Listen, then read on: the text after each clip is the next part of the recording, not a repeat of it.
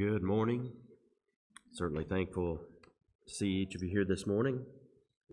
Uh, I know last week JP got up here and, and he sounded like he had a little bit of thing going, and, and I guess I've inherited that as well. With it being allergy season, I sound about the same.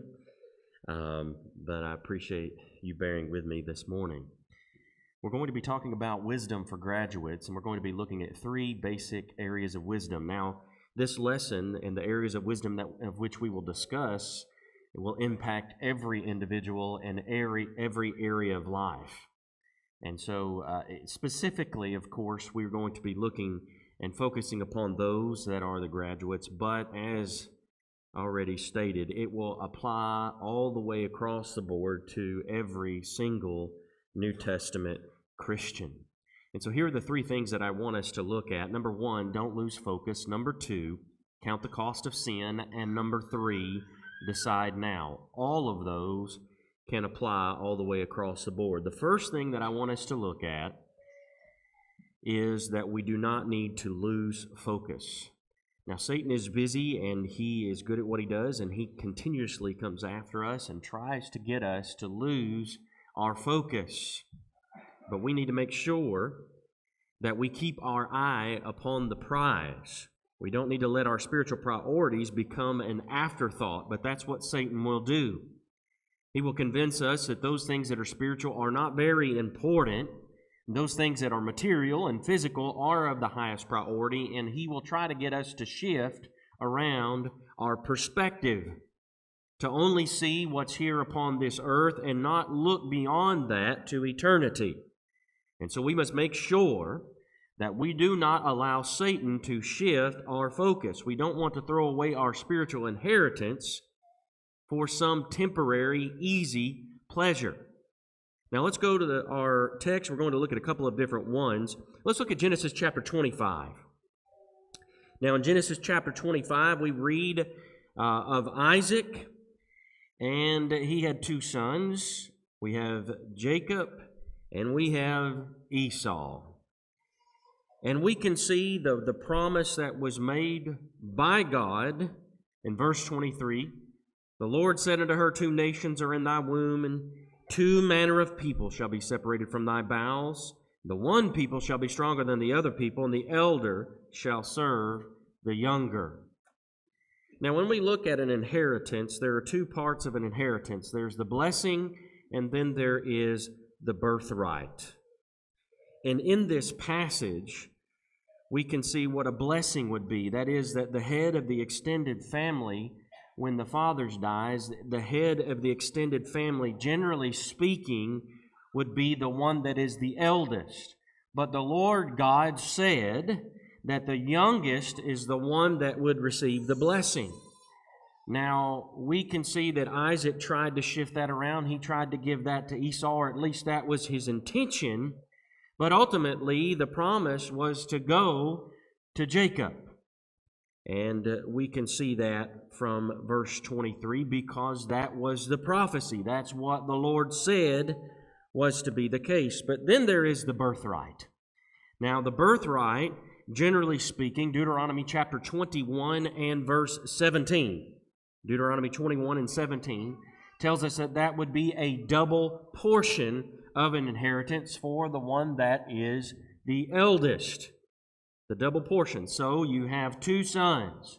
That means that Isaac's estate is going to be breaking, uh, broken up into thirds. There's going to be three parts of that estate. The oldest is going to receive two thirds, the youngest is going to receive one third. And that's what it means by having that double portion, the individual that would be the oldest. So then we read about an incident that occurred here where we have Esau, who was a cunning hunter, according to verse 27, and we have uh, Jacob, who was just a plain man, dwelt in tents, and Esau had been out, and the Bible says that, that he was basically faint, he was famished, as he came in from the field.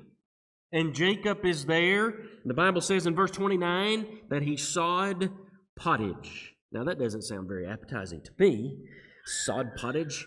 But what does that mean? Well, he was boiling pottage, the American Standard Version says. The Amplified says it this way He cooked reddish brown lentil stew. Now, that's, that's sounding a little bit more like it, a little better.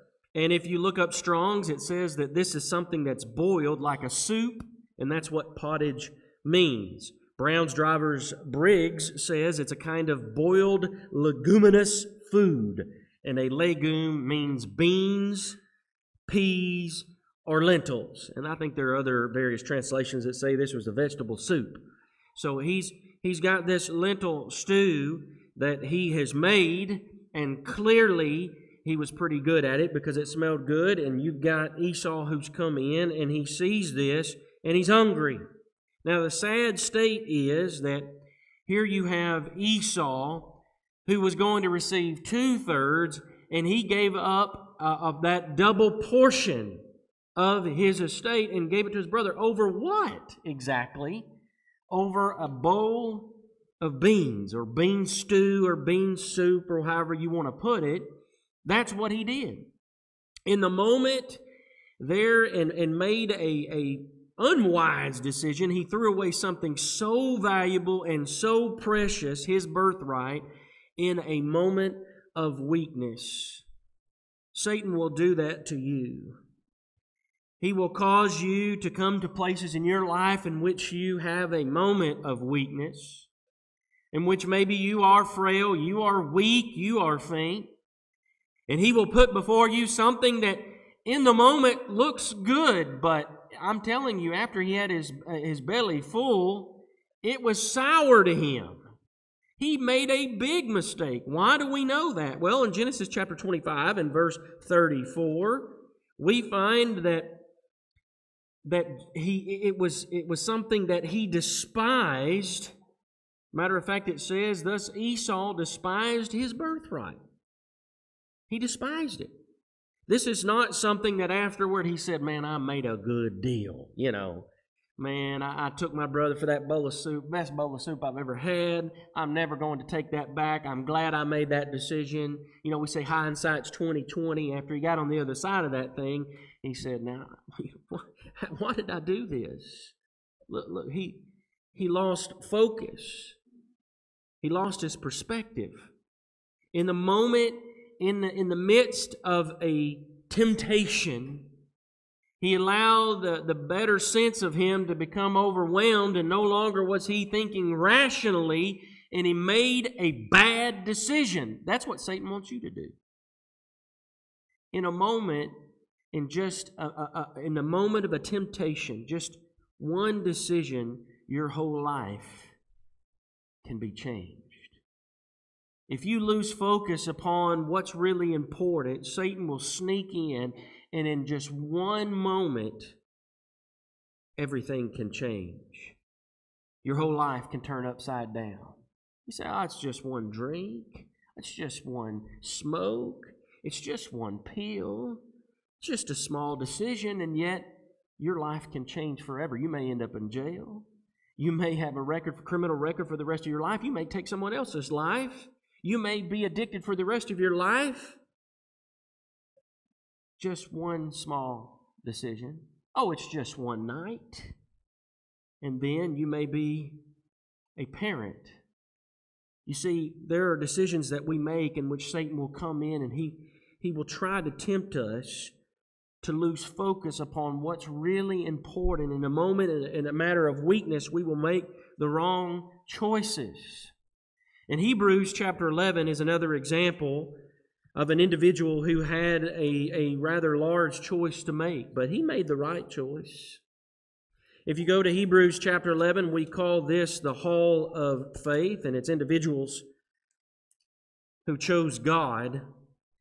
In the midst of this, in Hebrews chapter 11 and verses 24 through 26, we read of Moses. And it says in verse 24 By faith, Moses, when he had come to years, refused to be called the son of Pharaoh's daughter. Now, had he done so, had he chosen rather to align as Pharaoh's daughter, his life would have been a life of ease, a life of wealth and riches. He would have had a very affluent lifestyle if he had taken on that role and assumed that. But instead, he chose something very different. He chose, rather, in verse 25, to suffer affliction.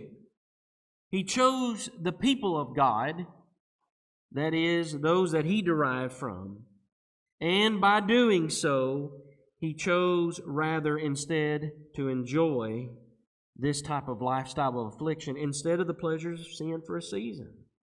He could have had that lifestyle, but it would have been the pleasures of sin for a season.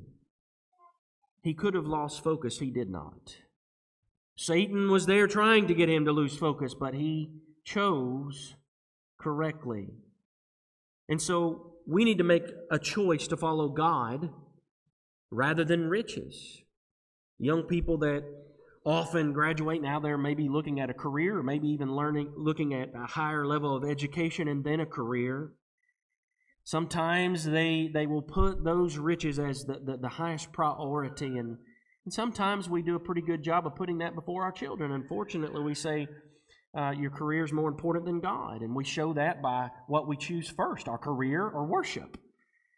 Sadly that is the case in some places we need to make sure that we show as parents the proper path, that God is always first over career. And that's important. And it needs to be preached, it needs to be shown, it needs to be practiced. And so we need to make sure that we do so, but sometimes we do a poor job of saying, well, your Bible class lesson, your memory verse, not as important. You need to focus on schoolwork. And we put that up front, and that's the highest priority in children's life, and we raise them that way. And we're surprised that when we, they go out in life, that their career and riches and gain is the most important thing in their life, and God just falls to the backside. And no longer are they faithful in worship to God. Listen, we need to make sure, as parents, number one, that we maintain focus and then young people, as they leave that home, that they keep that focus upon God and never lose sight of what is important. A matter of fact, in Matthew chapter 6, that's the encouragement that is given in Matthew chapter 6 that if we maintain our spiritual priority in life that God will provide. Though we may think that we have to go out and that all the provisions of life rely upon us, ultimately, God is the one that gives all good blessings and all good gifts.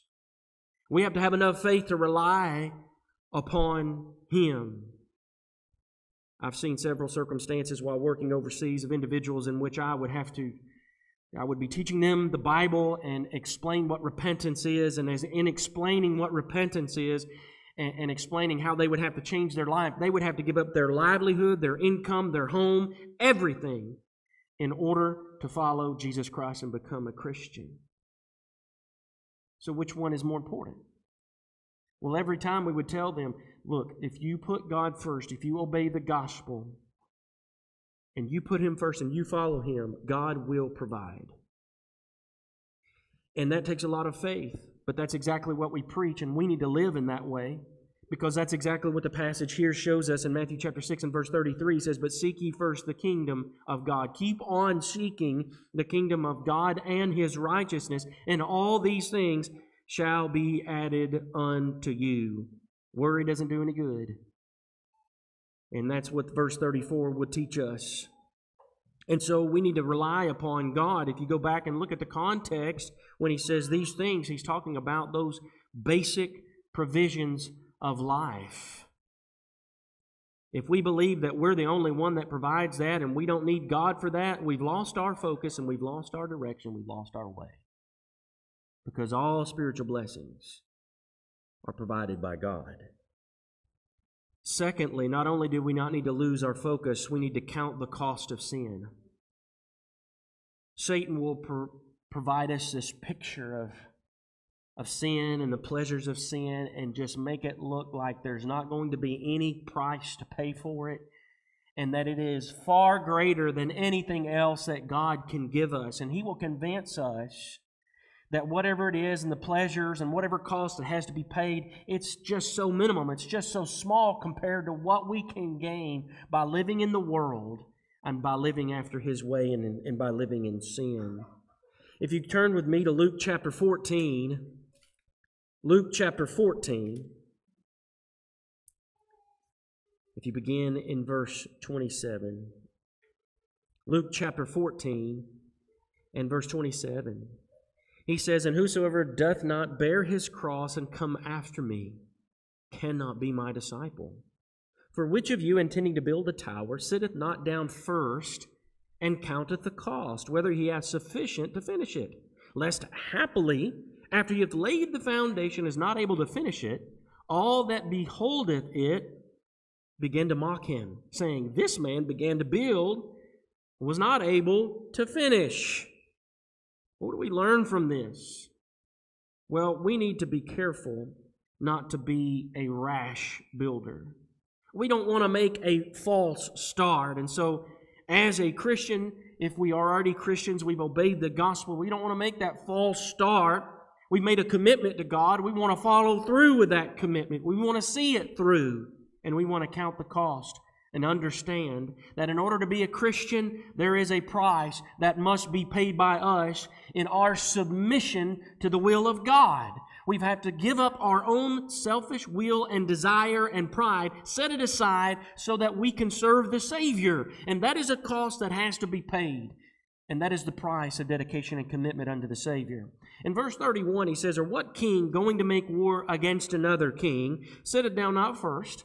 And consulteth whether he be able to ten thousand to meet him that cometh against him with twenty thousand. Or else, while the other is yet a great way off, he sendeth an ambassage and desireth conditions of peace. So likewise, whosoever he be of you that forsaketh not all that he hath, he cannot be my disciple. And then he says in verse 34 Salt is good. But if the salt hath lost its savor, wherewith shall it be seasoned? It is neither fit for the land, nor yet for the dunghill, but men cast it out. He that hath ears to hear, let him hear. What do we learn from this? We don't want to be a rash king. We don't want to make a hopeless stand. And so we want to be one that looks at the Christian life, and when we realize that Christ has made the greatest sacrifice, our sacrifice for Him and taking up our own cross is nothing compared to what our Savior has given for us. It's just yet a small, small token in our dedication and commitment unto Him. And so we need to be willing to count that cost. Sometimes we will rationalize our situation. We need to be willing to count the cost of being a Christian in context. And Christianity truly is a very expensive proposition. And sometimes we must give our influence, our money, our energy, our life, and all in order to truly be a follower of Jesus Christ. And so we've got to be willing to count that cost. In Romans chapter 12, verses 1 and 2, it tells us that we are not to allow the world to conform us to its mold, but we are to be conformed to the image of Christ and to be transformed into him his image and not to be like the world but to be like Christ, to be like God. And so we need to have that lifestyle. Galatians chapter 6, 7 and 8 tells us that we've got to count that cost and count the cost of sin. We count the cost of what it what it is to serve Christ, and heaven is the reward. That's the cost of discipleship. But then we've got to count the cost of sin.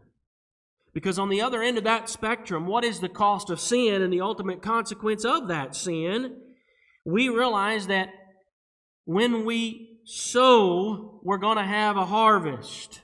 We're going to reap something. And if we sow our life in service to the King, can you imagine what we're going to reap? That's heaven, eternal life.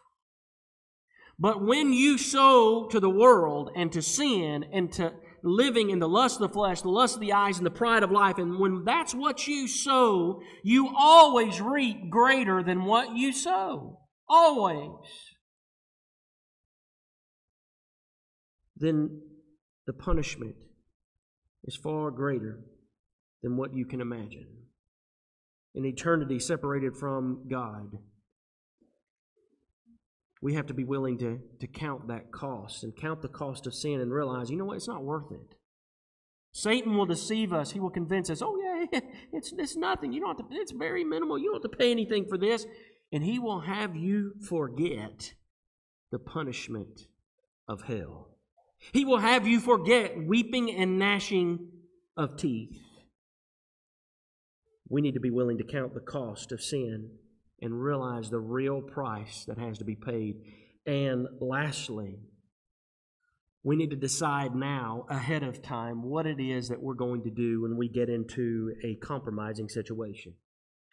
When Satan brings about those different temptations upon us, we need to go ahead and, and already know what our decision is going to be. And that's what it means to implant the Word of God in our heart and our mind so that we might not sin against God. So that in those moments we already know, deeply with, ingrained within us and with, uh, within our subconscious mind, we know what God's Word is.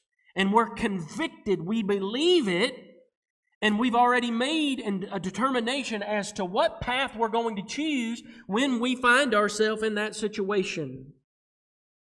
It's too late to wait till we're already in that situation and Satan has already made it good and look good to sit and try to think, okay, now I'm going to try to weigh this thing out because Satan's going to win in that moment of temptation.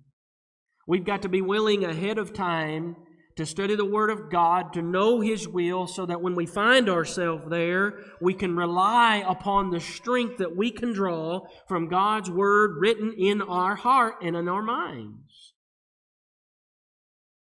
Young people, you've got to decide before you enter into that temptation. In Matthew chapter 4, when you look at the temptation of our Savior, you're going to find that He quotes the Scriptures. He says, It is written.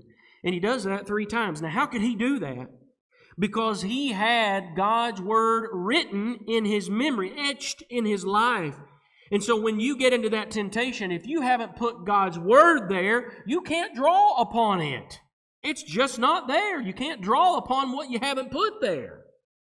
And so you're going to find yourself in a world of hurt when you find yourself in that situation. You've got nothing from God to draw on, and Satan is going to tempt you hard. You'll find yourself sliding to the direction of those temptations to sin. And so you've got to make those decisions before those, those issues face you. You think beforehand, how am I going to react if I'm faced with this temptation? If I'm faced with a temptation to enter into premarital sex, how am I going to deal with that? You need to determine ahead of time that you're going to maintain purity for Christ until you are married. And you determine that and you study about that so that you already know what your decision is. You need to decide ahead of time that you're not going to get wrapped up in drugs and alcohol and any of those things that can take you further than you could ever imagine. You're not even going to begin to entertain those things. And, and matter of fact, you're not going to go to the places where people are partaking of those things so that you're not going to be tempted by those things. You're going to be careful who you put in your life and who you're around because if you surround yourself with people that continually are partaking in those things, it's going to be a lot harder. Peer pressure is great, and Satan will use it against you.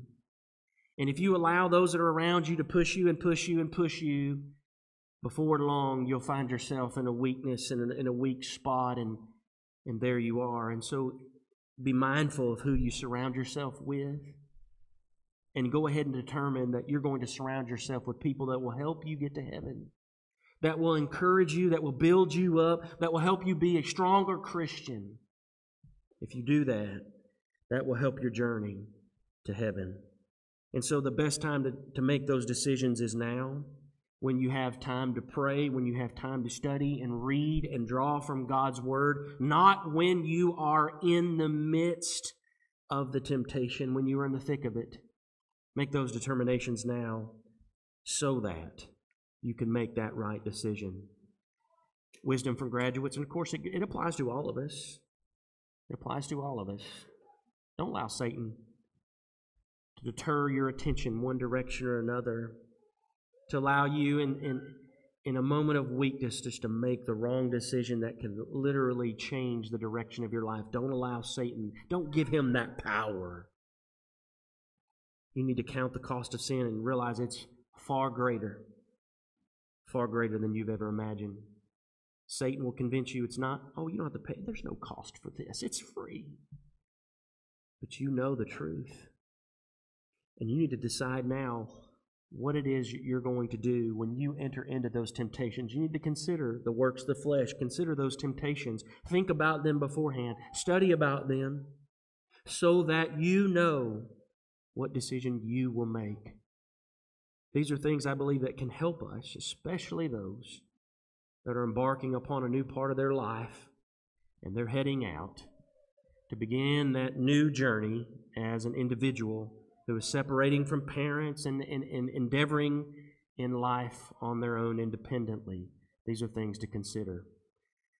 Today, if you're not a Christian, that is the number one priority. You need to give your life to the Savior. Believe that truly He is the resurrected Messiah. With your lips, confess that fact. Turn away from your past of sin and rebellion and submit to Him. Be baptized, be born again of the water and the Spirit, calling upon the name of the Lord so that your sins can be washed away today. Do not put it off. Or maybe you have been one that has failed to use biblical wisdom. You've allowed Satan to take you farther than you ever realized, and you need to return home. We have an invitation song that is prepared. Won't you come? Together we stand and as we sing.